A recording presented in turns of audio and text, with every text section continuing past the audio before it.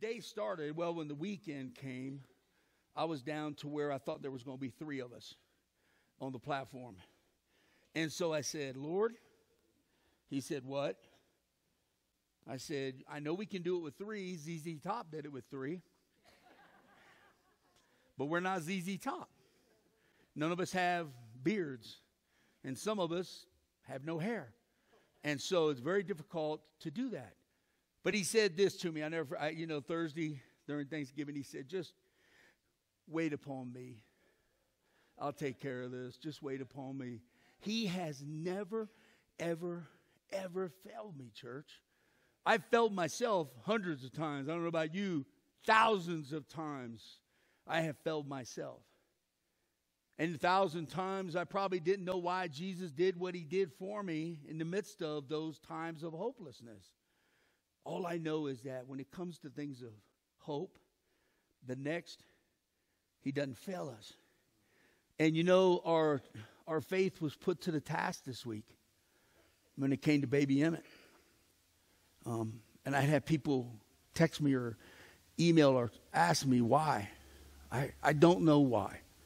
I don't know why the Lord felt the need to take little Enoch then, and I didn't know why he chose to take Emmett now. All I know is that he's there, and I know he's with the Lord, and I know all things are good. His sickness is gone. His collapsed lung is restored. His vital organs that have been infected are now uninfected. And that's the hope that we have. Knowing that God takes care of him, knowing that God is, knowing that Jesus came himself. He personally, I believe this with all my heart, he personally came himself and took the baby home. I believe that with little ones. I believe that with babies. I mean, they're not even old enough to know how to go enter the gate or to walk the road of eternity. That's why baby dedications are so important. Here, Lord, thank you. Thank you for blessing us with this incredible gift, but we realize you're the one that blessed us with him. And Lord, we also, the hardest thing for us to do is to surrender him and them to, to Jesus. But it is what he asks of us. He, he asks us to do these things. And our, our hope comes in knowing that he's good at his promises. And one of the things he promised was on a hill far away. No, that was a promise. But also in Luke chapter 2, we find the promise of God when we're told that there were shepherds living in the fields nearby. Now, I want you to pay attention to this passage because we always kind of jump over the, the shepherds. We kind of pass them up. Once the angels came to them and they went to Bethlehem and they saw this thing that had happened, they kind of, that's kind of the end of their story, but it's not the end of the story. As a matter of fact, I say for you today, it is the beginning of the story. And the shepherds were a must at the Bethlehem manger scene. The, the shepherds had to be there that first Christmas morning. And so the angel of the Lord, he appeared to them. I love this next phrase, and they were terrified. That'd be an understatement. If you saw the mighty angels of God on that dark Judean hillside, the light that must have emanated from them would have scared any of us. But the angel of the Lord said to them, Do not be afraid. I bring you good news of great joy that will be for all the people. Because today, in the town of David, a Savior has been born to you. He is Christ the Lord, He is God's anointed one. He is the long awaited Messiah. He is the one that the Father promised He would send at just the right time. At the fullness of time, He would send Him. So God sent His one and only Son, who we know as the Lord, who became the bridge, the one who bridged the chasm between God and his creation. And on that day, some 2,000 years ago, the hope for mankind was established there in the manger. A future for mankind was now being proclaimed. It was going to be proclaimed on that night outside on the little hill outside of Judea in the town of Bethlehem. And then it was going to be proclaimed from that point forward for all of times. And these shepherds would be the first ones to hear about this hope, and thus they were going to be the first ones to carry this hope to a world. Did you ever think about that? They come to Bethlehem and they, and they see this baby. The angel said it was the Lord Himself, the long awaited Messiah. And then it seems like the shepherds, it, it just ends there. And we don't really see or hear much about them after that. So as we begin this Christmas journey, I want you, I want you to listen. I want, I want us to take an up close and personal look at the shepherds. That's our focus today, is the shepherds. Those who were there that first Christmas morning, those who would experience personally, intimately, the heart of God Himself as He touched their very lives with the good news that would bring great joy for all people. The question that I asked myself years ago was could He have not shown up to anyone else? I mean, He basically revealed Himself to the wise men with the star. But why did he pick these shepherds? Why didn't he pick town folk like us? Why didn't he pick just someone who, I don't know. But then as I studied the story, as I started looking deeper into the story, I started to ask myself this question Mary, Joseph, the baby, three kings, and then shepherds. But he didn't say how many. I found that interesting. I found that enlightening. I thought to myself, well, why, why didn't he say three shepherds? Why didn't he say two shepherds? Why didn't he say a group of shepherds and, and tell us how many there were? And then I came to realize that he couldn't tell us because he didn't know. He did not know how many shepherds were going to come out of that time and for all generations' sake. A shepherd is described as a caretaker, a servant of God, one who provides, protects, and guides sheep. Think about it. Think about it for a moment what a, what a shepherd does, what a shepherd did for the sheep, and what shepherds do today for the congregation of Jesus Christ. See, when I look about this and I think about this, it wasn't a coincidence. It was providential. It was God's plan that he chose these shepherds to be there that first Christmas to announce to them the coming of his one and only son and asked him to go see this thing that had happened. Go see this thing that had happened. Because this is going to be important for all history. For all times, this is going to be important. What you do is vital. So think about it. Sheep were and are known for their meekness. That means being needy. And sheep easily lose sight of where they are going, so they need direction. And sheep have a serious need for leadership to guide them in that direction. Enter the shepherds of the first Christmas. The whole thing began there. The whole thing started there.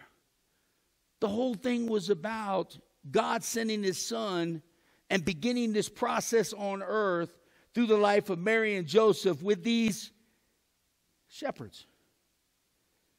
However many there were, we knew that the shepherds were there. As a matter of fact, in Ezekiel 34, John 10, John 21, we're told that we, believers in Christ Jesus, we are his sheep. And Jesus proclaimed himself the good shepherd. He proclaimed himself the good shepherd who would keep watch over the Father's sheep, those who believe upon him. It says that he would provide for him, he would protect him, and he would guide these wayward sheep back to the Father. Biblically speaking, and that's what I like to do is biblically speak on topics like this. But biblically speaking, Jesus identified his sheep and their need for ministering shepherds, for servant shepherds, for pastor shepherds. Jesus identified this. He said the individuals need this in their life. What he was speaking about actually was uh, some kind of spiritual authority, some kind of spiritual hierarchy. Kind of, this is the way, this is what we're supposed to know, and this is what we're supposed to be doing. To paraphrase Acts chapter 20, listen to this. We're told that as believers, as sheep, we must not hesitate to proclaim to the whole the whole will of God the Father. We are to keep watch over ourselves and all the flock. We are to keep watch over one another. And then he finishes with this statement Be shepherds of my church. Be shepherds of my church. Yeah, he was talking to me, Pastor Eva, Pastor Josh, Pastor Eli. But he was talking to more than just us four. He was talking to all of us, all who believe upon the name of Jesus Christ. See, God had a plan on how to extend this message, this good news of great joy, which was hope for all of creation, and how to plant it in the heart of all creation.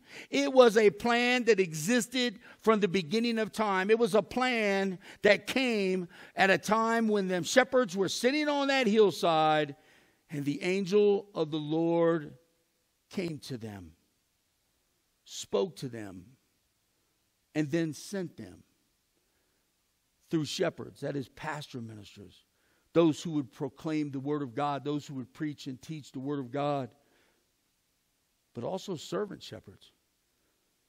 Acts is really clear about this that he sends servant shepherds to be Jesus to the world.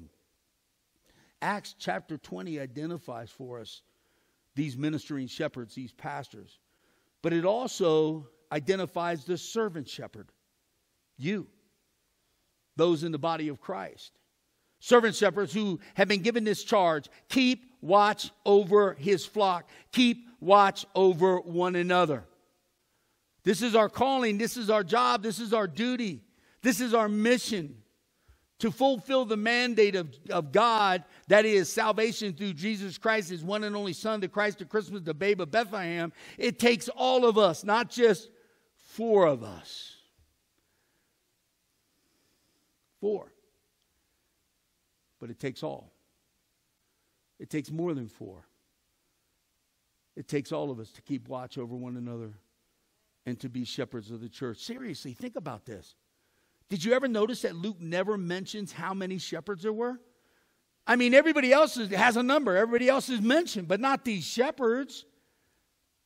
Not at this present time. And there's a reason Luke didn't tell us. Did you know Luke had a good reason why he never mentioned the number of shepherds? It's right there. It's in the story of Luke, chapter 2, 8 through 14. But sometimes we miss the most important things, or maybe sometimes we ignore some of the most important things of God. Because when we examine the roles of the shepherds in the Christmas story, one very important thing jumps out at us well, maybe not jumps out, but it's there. It's right there in verse 11 that the shepherds were given charge to share the good news of great joy, which would be hope for all people. Creation had a need for a Savior because of sin and the grip of death. So God sent His Son. Creation had need for someone to keep watch, to teach, to proclaim this hope throughout all generations. Enter the pastor shepherd. And then God needed someone to take it beyond the four walls of his church and share it with others. Enter you, the servant shepherd. It's our call, it's the mission. It's the mission that fulfills the mandate that was given 2,000 years ago in the little town of Bethlehem in some stinking dark manger where I'm sure Mary and Joseph weren't feeling very hopeful when there was no room in the inn. And they were told to go out into the manger, into the stable. I wonder what Mary felt when she sat down there, ready to deliver in that dark, stinking stable. Every once in a while, I have a parent say to me two things. Number one, I, I want to have a child, a baby, but I can't possibly consider bringing a child into this fallen world and the way it is now. I hear that from people from time to time. And then I hear from people that would say to me, Wow, I, I don't know what's going to be in the future for my child. I mean, look at the world around us. It's an absolute mess. What's going to be there for my child? Well, the answer is the same answer as the first person Jesus. He was there before, he's there now, and he'll be there forever. He is our hope. He is the one that we lean on. He is the one that we go to. He is the one that entrusted us with a hope for the world. Church, our world still has need for someone to share this powerful message of the good news of hope that brings joy to all people. We are still in a world that needs that. So there they were at that first Christmas, and here we are at this Christmas, gathered together to celebrate the Christ born of a manger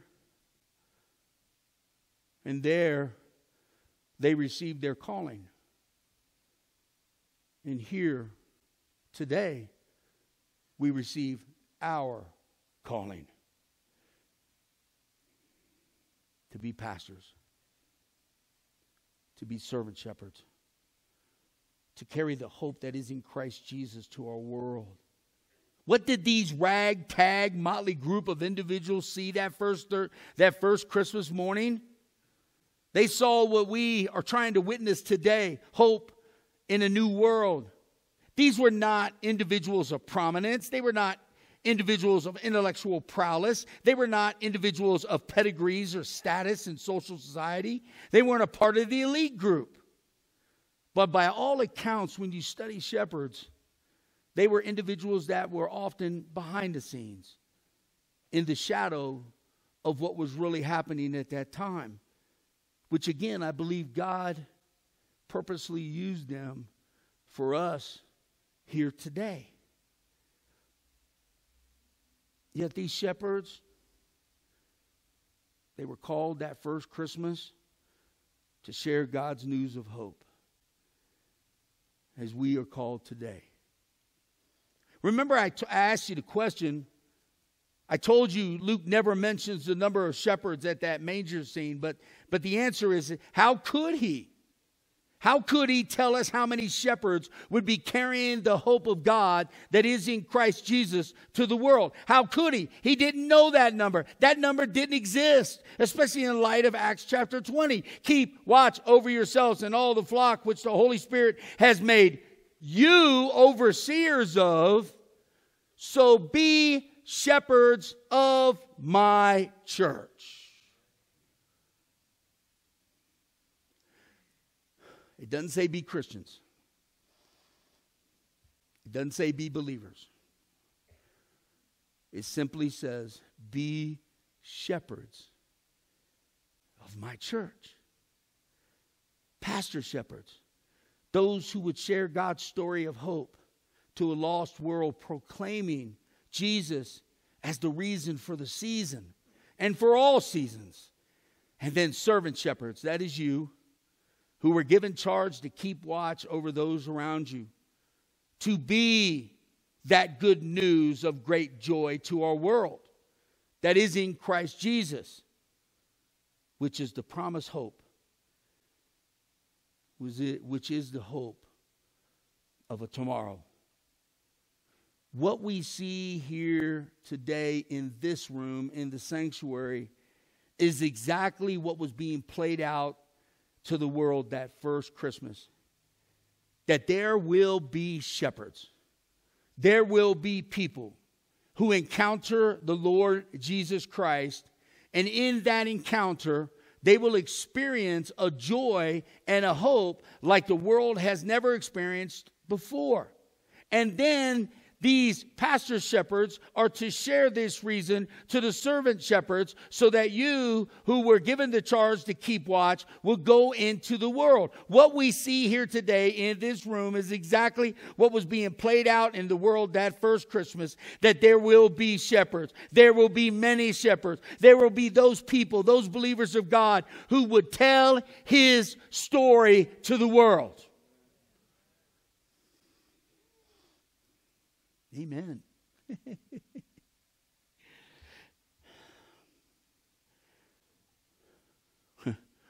you realize that's why Luke never mentioned how many there were?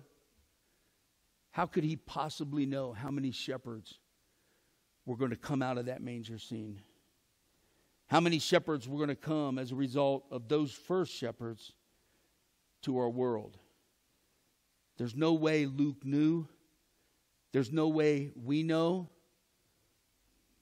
And that's why Luke never mentioned how many were there. I mean, seriously, how could he? How many shepherds have existed between the time of Bethlehem and the birth of God's one and only Son and today? How many shepherds exist? How many pastoral shepherds? How many servant shepherds?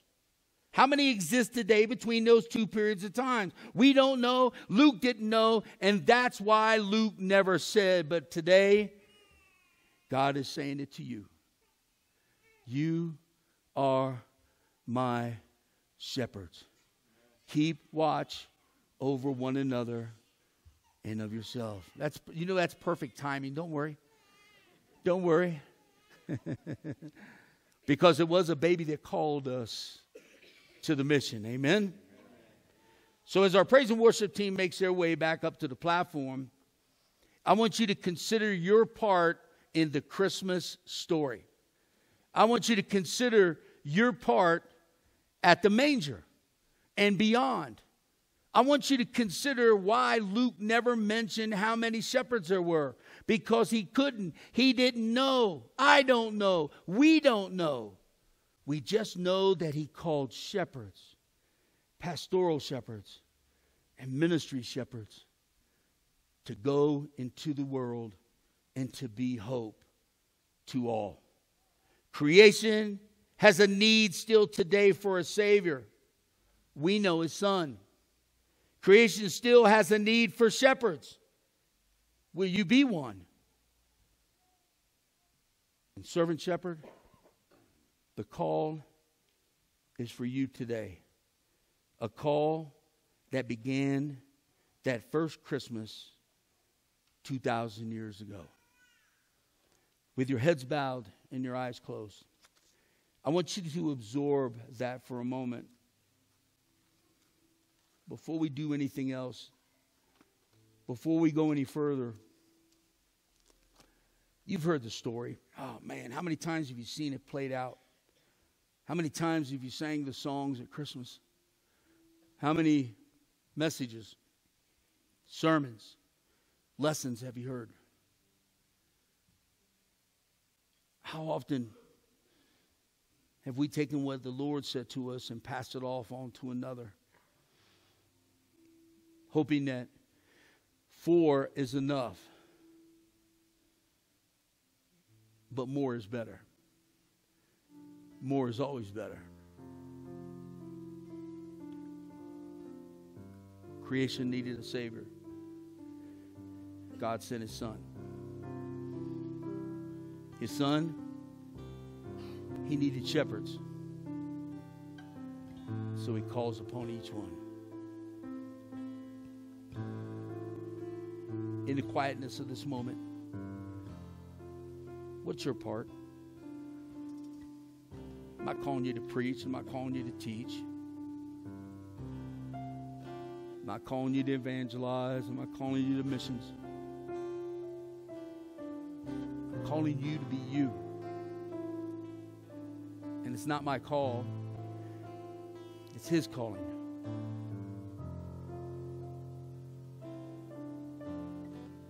Will you go to the world in need of hope?